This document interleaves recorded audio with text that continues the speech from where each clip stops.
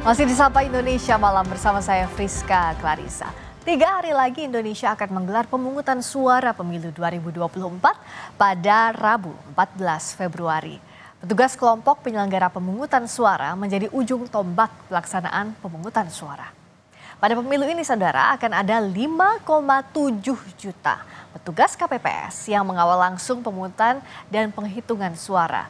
Mereka tersebar di 820.161 TPS atau tujuh orang yang bertugas di setiap TPS. Menjadi petugas KPPS bukan pekerjaan ringan. Di 2019 kita lihat tercatat bahwa 894 petugas KPPS meninggal dunia terkait proses pemungutan dan penghitungan suara. Sementara jumlah petugas KPPS yang sakit mencapai 5.175 orang. Apa antisipasi dan langkah mitigasi agar tragedi kematian ratusan anggota KPPS pada pemilu 2019 tidak terulang di pemilu 2024? Kita bahas setelah tayangan berikut ini. Pemilu memasuki masa tenang, namun tugas kelompok penyelenggara pemungutan suara KPPS semakin berat. Mereka harus memastikan seluruh proses saat dan pasca pemungutan suara berjalan dengan baik. Salah satunya dijalani Timotius Kunino, anggota KPPS di Desa Teba, Kabupaten Timur Tengah Utara NTT. Timotius juga menjadi anggota KPPS pada pemilu 2019. Ia mengaku beban kerja saat itu begitu tinggi karena semua pencatatan dilakukan manual dan memakan waktu cukup lama.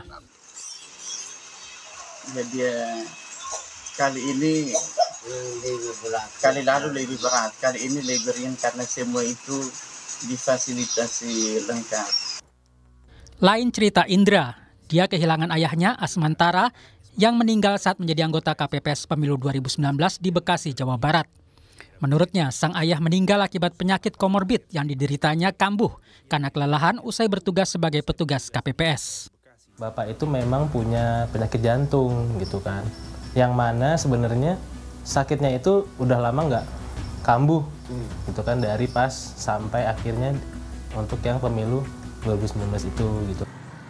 Beratnya pemilu 2019 juga dirasakan pengawas tempat pemungutan suara PTPS. Nita Safitri, seorang ibu rumah tangga di Sragen, Jawa Tengah, mengalami keguguran akibat kelelahan. Penghitungan kalau nggak salah, Mbak maghrib itu baru rasa apa namanya kayak ada pembukaan gitu kenceng gitu perutnya kenceng terus apa namanya terus kan saya sempat cek di kamar mandi itu perdarahannya lumayan banyak. Pemilu 2019 menyisakan cerita duka KPU menyatakan 894 orang anggota KPPS meninggal, sementara lebih dari 5.000 orang sakit. Agar tak ada anggota KPPS yang meninggal saat pemungutan suara, KPU akan bekerja sama dengan Dinas Kesehatan setempat untuk mengantisipasi kelelahan dan kematian anggota KPPS seperti pemilu 2019. Dalam kondisi saat ini juga pemerintah daerah memberikan dukungan berupa pemeriksaan kesehatan, fasilitasi medis kepada para badan ad hoc. KPU harus memastikan jaminan keamanan dan keselamatan bagi semua anggota KPPS. Jangan lagi ada kematian akibat beban kerja yang berat. Tim Liputan Kompas TV. Ada 5,7 juta petugas KPPS yang bertugas dalam pemilu kali ini. Belajar dari pemilu 2019 yang lalu, apa saja mitigasi yang perlu dilakukan? Kami bahas bersama Bapak Timotius Cucino, uh, petugas KPPS Desa Teba Kabupaten Timur Tengah Utara. Bergabung juga Mbak Titi Anggraini, anggota Dewan Pembina Perkumpulan untuk Pemilu dan Demokrasi atau Perludem. Selamat malam Pak Timotius, juga Mbak Titi. Malam Mbak Friska. Selamat malam, saya ke Pak Timotius dulu. Pak Timotius juga pernah menjadi petugas KPPS 2019. Waktu itu seperti apa load kerjanya Pak? Beban kerjanya seperti apa? Tolong diceritakan. Baik, waktu itu beban kerjanya sebagai KPPS itu bebannya beban kerjanya sangat banyak lamaannya waktu di dalam TPS karena sistem kerja tahun 2019 itu masih memakai sistem manual hmm. sehingga yang di dalam TPS itu memakan waktu. Pak Timotius? Ya. Tampaknya terputus suara Pak Timotius. Oke, Pak Timotius, jadi waktu itu masih manual. Kalau untuk 2024 ini, seperti apa bayangannya di sana sekarang? Udah ada informasi soal ini, Pak? Sudah. Oke, bagaimana? Eh, apakah eh, tetap manual seperti 2019 atau seperti apa, Pak? Di tahun 2024 ini, ini sistem kerjanya sistem aplikasi Sirekap, jadi mempermudah anggota KPPS di dalam TPS. Oke, jadi ada uh, Sirekap dianggap lebih memudahkan ya. Nah itu jam kerjanya sebagai bayangan Pak Timotius dari jam berapa sampai jam berapa, lalu tugas petugas KPPS itu seperti apa? Ya, jam kerjanya dari jam 7 sampai jam satu siang. Setelah itu lanjut dengan perhitungan suara. Oke, lanjut sampai penghitungan suara itu harus betul-betul hati-hati dan teliti karena satu persatu surat suaranya begitu ya Pak Timotius ya. Ya. Kalau waktu 2019 di sekitar Anda di daerah Anda apakah ada petugas KPPS yang sakit atau meninggal dunia informasinya? Di daerah saya itu tidak ada yang mengalami yang sakit, hanya kelelahan saja. Ada yang kelelahan setelah bertugas di hari pemilihan ya. Dari Pak Timotius Cunino saya ke eh, Mbak Titi dulu. Mbak Titi, jadi kalau sebenarnya lihat beban kerjanya uh, para petugas KPPS, juga sistem yang diterapkan uh, selama nanti penghitungan suara dan hari H pencoblosan ini apakah sudah bisa uh, lebih baik dibandingkan 2019 yang lalu kalau Mbak Titi lihat sistem di tahun ini? Mbak Friska, jadi petugas KPPS itu bekerja bukan hanya di hari pemungutan suara. Mereka sudah bekerja sejak sebelumnya mendistribusikan pemberitahuan memilih atau yang populer disebut sebagai surat undangan ya, memilih. Ya, ya. Selain itu mereka juga mempersiapkan pendirian TPS dan setelahnya mengirimkan uh, hasil suara dan kotak ke tingkatan yang lebih tinggi yaitu ke kecamatan melalui PPS. Nah, dalam hal ini ada beberapa perbaikan yang dilakukan oleh KPU untuk 2024. Pertama, membatasi usia atas Eh, petugas KPPS yaitu maksimal 55 tahun. Yang kedua adalah bekerja sama dengan instansi kesehatan untuk melakukan pemeriksaan kesehatan. Tekan Mbak Titi, tampaknya ada kendala sinyal. Boleh diulang lagi tadi? Silakan. Oke, kita nanti akan uh, kembali lagi ya. memperbaiki dulu ya. koneksi. Oh, Mbak Titi sudah terhubung lagi. Ya, silakan silakan ya, dilanjutkan. Mohon maaf, ya. Uh, lalu kemudian uh, suara saya bisa terdengar ya. Uh, uh, kemudian juga dari sisi pemeriksaan kesehatan bersama dengan instansi di bidang kesehatan. Lalu juga ada tambahan berikutnya Mbak Friska yaitu mereka akan disediakan uh, alat pengganda untuk kemudian yang biasanya dulu penghitungan suara dilakukan salinan secara manual, nanti akan ada alat pengganda yang dialokasikan pembiayaannya hmm. atau print scanner. Yang sebenarnya membutuhkan tenaga sangat besar itu adalah Mbak Friska setelah melakukan penghitungan suara, biasanya mereka menyalin secara manual hmm. di dalam berbagai formulir yang nanti akan diberikan kepada para uh, saksi partai politik, saksi pasangan calon, dan juga pengawas pemilu.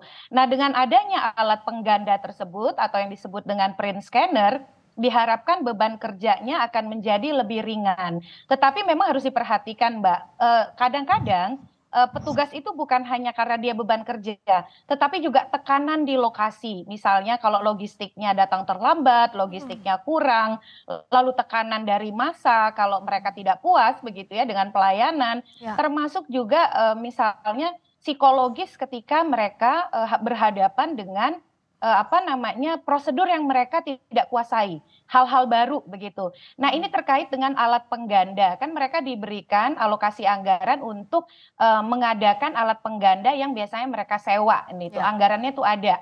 Kalau di daerah saya, saya tanya kepada KPPS itu sekitar 500 ribu. Hmm. Nah ini harus dipastikan nih, mereka bisa mengoperasikannya dengan baik dan itu tidak menimbulkan permasalahan berikutnya. Walaupun kalau alat pengganda ini tidak bisa digunakan, tentu mereka bisa masih memanfaatkan alternatif yang lain yaitu manual begitu. Hmm. Nah, setelahnya mereka juga harus menyerahkan itu ke tingkatan yang lebih atas yaitu kecamatan melalui PPS. Paling penting menurut saya Mbak Friska, selain uh, apa beberapa terobosan yang sudah dilakukan tadi ya mengurangi beban uh, pencatatan manual dengan uh, memberikan alat uh, pengganda atau print scanner pelatihan dan juga uh, pusat bantuan kalau mereka mengalami kebingungan dengan teknis atau ya. kemudian ya. prosedur di TPS, itu ada segera misalnya asistensi dari tingkatan yang di atasnya, okay. apa langkah-langkah yang harus mereka ambil. Ya. Jadi ini yang menurut saya eh, apa penguasaan teknis itu akan membantu mereka untuk eh, keluar dari tekanan kerja. Karena berdasarkan evaluasi 2019 kerja mereka itu Mbak Friska di antara 24 sampai 72 jam nonstop, okay. nonstop itu yang memicu komorbid, tingkat stres kerja tinggi dan ya. kecenderungan uh, pola makan dan uh, gaya hidup tidak ya. sehat, misalnya Baik. merokok, hmm. minum kopi dan lain ya. sebagainya itu yang hmm. mestinya dihindari begitu. Baik. Nah uh, soal ini bimbingan teknis Pak Timotius sudah mendapatkan uh, bimbingannya untuk kesehatan, termasuk juga teknis nanti pelaksanaan, terutama uh, mendekati hari H dan juga sampai ke pemilu. Pak Timotius? Bimbingan ya. teknisnya apakah sudah didapatkan kalau Pak Timotius dan rekan-rekan yang bertugas di Timur Tengah Utara? Baik untuk bimbingan teknisnya sudah didapatkan sebelumnya. Hmm. Nah, seperti apa Pak bimbingan yang sudah diberikan? Ya, bimbingan teknis itu terkait dengan model C hasil, uh-huh. tungsura, uh-huh. terus model C pemberitahuan. Oh, Oke, okay. dan kalau untuk pemeriksaan kesehatan sudah dilakukan, Pak Timotius? Untuk pemeriksaan kesehatan itu sudah dilakukan terlebih dahulu. Uh-huh. Itu training kesehatan di puskesmas terdekat. Oke, dan sudah siap juga ya nanti kalau misalnya ada hari H, ada yang sakit dan sebagainya, sudah disiapkan rencananya juga ya Pak Timotius? Sudah siap ya. kalau di lokasi Anda?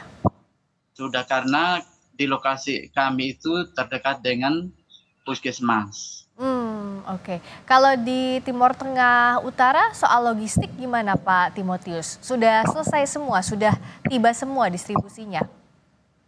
Untuk logistiknya belum sampai di tempat kami. Hmm, informasinya kapan uh, rencananya uh, tiba? Rencananya tanggal 12. Oh, Oke, okay. ada kendala alam, misalnya medannya yang sulit dijangkau atau seperti apa kalau di Timur Tengah Utara, Pak Timotius? Kalau di tempat saya itu tidak ada kendala karena kami berada dalam satu lingkup. Uh-huh.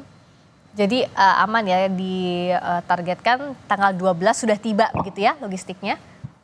Ya. Nah Mbak Titi kalau tadi kan ada beberapa hal yang harus disiapkan dari mulai logistiknya, sering kali ada tekanan mental kalau misalnya uh, terlambat datangnya seperti yang Mbak Titi ceritakan. Nah, antisipasinya seperti apa? Karena kan untuk persiapan fisik dan mental meskipun sudah disiapkan, tapi pada saat hari H terutama momennya pencoblosan, itu ada kendala-kendala yang dihadapi, banyak juga yang akan kewalahan. Bagaimana antisipasi yang harus disiapkan betul-betul Mbak Titi? Ya, Mbak Friska, pada uh, periode yang sekarang salah satu terobosan yang dilakukan oleh KPU adalah melakukan pelatihan terhadap ketujuh petugas KPPS. Jadi tujuh-tujuhnya itu dilatih. Kalau dulu hanya dua orang saja petugas. Nah, oleh karena itu, kerjasama tim di antara anggota KPPS perlu baik. Misalnya saling memperhatikan uh, kalau ada indikasi yang sudah mulai kelelahan.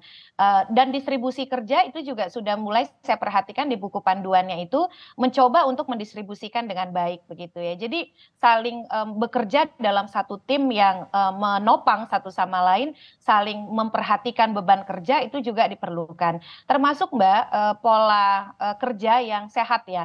Hmm. Misalnya jangan kemudian uh, terlalu uh, kan disarankan untuk tidak merokok selama proses ya, untuk tidak mengganggu misalnya kondisi kesehatan dan juga kemudian menjaga sirkulasi udara. Hmm. Jadi uh, kalau misalnya yang berada dalam ruang itu bagaimana sirkulasi udaranya bagus dan termasuk juga kalau TPS seperti di TPS saya 2019 waktu saya mencoblos pada waktu ya. itu um, uh, sorry di sebelumnya ya hmm. itu lokasinya itu agak di gang sempit gitu ya dan lokasinya agak mohon maaf itu ada seperti kandang begitu ya yang hmm. um, apa situasi udaranya juga kurang sedap dan lain sebagainya. Nah itu mungkin perlu diperhatikan termasuk juga uh, menjaga pola tidur pola makan uh, untuk tidak lupa sarapan ya dan istirahat yang cukup di malam sebelumnya. Jangan terlalu kemudian bekerja di luar batas yang normal. Hmm. Karena kadang-kadang ini Mbak yang membuat uh, tekanan gangguan kesehatan itu begadang. Ya. Karena mempersiapkan TPS gitu ya dan mereka bekerja konstan menghitung uh, apa surat suara itu sampai dengan tengah malam dan lain sebagainya. Jadi saling mendukung di antara anggota KPPS untuk memperhatikan satu sama lain, menjaga pola makan dan juga istirahat yang cukup itu menjadi diperlukan. Termasuk tadi supaya tidak mengalami tekanan kerja bagaimana uh, penga, apa, petugas yang ada di atasnya, misalnya tingkat desa atau kelurahan atau kecamatan, kalau ada pertanyaan atau kendala prosedur teknis di lapangan yang memerlukan bantuan, itu responnya bisa cepat gitu ya. Hmm. Sama harapannya tentu saja ya. peserta pemilu jangan memprovokasi dengan ya. kemudian para warga pendukung juga memperhatikan kondusivitas. Karena sukses tugas KPPS itu juga sukses kita bersama. Iya, betul. Secara teknis juga eh, sama-sama uh, menjaga kondusivitas begitu ya Mbak Titi ya karena kita sama-sama menjaga proses pemilu. Soal kurang tidur kayaknya kami yang di TV juga siap-siap nanti akan kurang tidur ya saat tugas uh, pemilu. Nah, yeah. bicara soal jam istirahat Pak Timotius, ini sudah diimbau pasti ya, sudah disarankan. Uh, kalau dari sekarang nih tiga hari jelang pemilu, apa saja persiapan kesehatannya kalau khusus untuk Pak Timotius sendiri? Ya kalau untuk saya itu istirahat yang cukup, cukup, dan harus menjaga kesehatan. Iya ya, lalu juga pola makan dijaga pasti ya Pak ya? Iya. Pola makan dijaga, tapi kalau sekarang apa yang yang disiapkan untuk hari H selain logistik? Apakah kesiapan tadi teknis, lalu juga pelatihan untuk semua anggota KPPS sudah dipastikan siap begitu Pak Timotius? Sudah, semua sudah aman ada berapa anggota KPPS kalau di daerah Pak Timotius? Tepatnya Bapak tugas di mana nanti? Di setiap TPS itu ada tujuh orang KPPS. Hmm, ada tujuh orang. Kalau Pak Timotius di mana tepatnya nanti bertugas? TPS 2. Ah, di TPS 2 itu di daerah mana kalau boleh tahu Pak? Di Desa Teba. Oh di Desa Teba. Uh, tadi kalau kata Mbak Titi kan sekarang tahun ini semuanya ikut pelatihan. Nah kalau di TPS Bapak juga tujuh orang anggota petugas KPPS sudah dilatih juga ya Pak, tidak hanya Pak Timotius saja? Tujuh orang KPPS itu ikut pelatihan semua. Hmm, Oke, okay. jadi uh, Mbak Titi kalau dari catatan tadi berarti ya sudah disiapkan semaksimal mungkin. Termasuk uh, jangan sampai misalnya di satu TPS lengkap fasilitasnya, yang lainnya tidak ada kekurangan tadi seperti yang Mbak Titi ya. bilang menyalin satu persatu itu kan itu yang membuat kelelahan atau tidak tersedia ya. print scanner misalnya yang seharusnya ada. Uh, ini bagaimana siapa yang bisa mengawasi ini dan siapa yang bisa uh, hands on kalaupun saat hari H terjadi kekurangan? Ya, pertama Mbak Friska, karena kebetulan saya sedang memantau pemilu di uh, Kuala Lumpur, Malaysia, hmm. yang juga penting dikuasai oleh para petugas kita mengetahui klasifikasi atau kategorisasi pemilih. Hmm. Jadi pemilih itu kan ada tiga ya, ada daftar pemilih tetap yang masuk DPT, ya. ada DPTB hmm. yang itu pemilih pindahan, dan ada DPK daftar pemilih khusus hmm. yang tidak terdaftar di DPT tapi bisa menggunakan KTP elektronik dan memilih di TPS sekitar uh, wilayah domisili berdasarkan KTPL. Hmm. Ini petugas jangan sampai bertukar-tukar karena saya melihat misalnya ada beberapa motif dia sebenarnya tidak berhak untuk memilih tetapi memaksakan dengan alasan perlindungan hak konstitusional warga negara dan lain sebagainya. Oh, Nah, itu itu yang uh, perlu diwaspadai dan diantisipasi karena di undang-undang kita disebutkan kalau ada warga negara yang tidak mempunyai hak pilih lantas menggunakan hak pilih itu bisa menimbulkan pemungutan suara ulang. Nah, Oh. pengetahuan-pengetahuan seperti ini perlu disampaikan dengan baik kepada para petugas sehingga tidak ada lagi hoaks yang beredar misalnya bisa memilih di seluruh TPS di Indonesia asalkan punya KTP elektronik. Hmm. Itu hoax. KTP elektronik hanya bisa digunakan bagi yang mereka belum terdaftar yaitu di TPS di domisili hukum sesuai KTP elektronik. Hmm. Jadi kalau terda, eh, TPS apa eh, domisili elek, eh, eh, domisili hukumnya contoh saya KTP-nya di Pamulang, maka hanya bisa menggunakan hak pilih di Pamulang. Nah, yang kedua, mengantisipasi misalnya kalau ada keterlambatan, kekurangan logistik atau kendala dengan eh, ketersediaan perlengkapan pemungutan penghitungan suara, koordinasinya itu harus jelas kepada siapa dengan siapa dan responnya itu harus diberikan dengan segera. Mhm. Kalau hari ini misalnya Pak Timotius nanti mungkin juga bisa menyampaikan mereka itu sudah mulai menyiapkan yang disebut dengan tadi alat pengganda ya atau print scanner begitu. Nah, kalau memang tidak ada itu dimungkinkan Mbak untuk menggunakan secara manual. Hmm. Tetapi identifikasi-identifikasi masalah ini harus bisa dikumpulkan dari sekarang dan kalau kemudian mereka menghadapi tantangan atau hambatan teknis, koordinasi dengan PPS dan PPK-nya juga harus baik. Jadi di atas mereka ini kan ada panitia pemungutan suara di tingkat Mbak Titi, tampaknya terputus lagi eh, koneksinya. Mbak Titi, masih bisa mendengar saya? Oke, terputus tampaknya. Eh, terakhir kalau Pak Timotius, eh, sampai nanti ke hari H, 14-15 Februari, 14 Februari terutama saat pemungutan suara sudah disiapkan semuanya ya Pak Timotius, Bapak dan juga anggota KPPS lain sudah menerima semua informasi dengan baik termasuk pelatihannya juga ya Pak Timotius? Sudah. Oke, jadi sudah eh, siap Mbak Titi sudah bergabung lagi tampaknya singkat saja terakhir untuk penutup. Ya, saya kira eh, apa eh, KPU perlu kemudian memastikan kembali bahwa semua perlengkapan pemungutan penghitungan suara sudah terdis- terdistribusi Mhm. dan eh, crisis center ya, ke mana mereka harus menghubungi kalau mereka ada kendala di lapangan.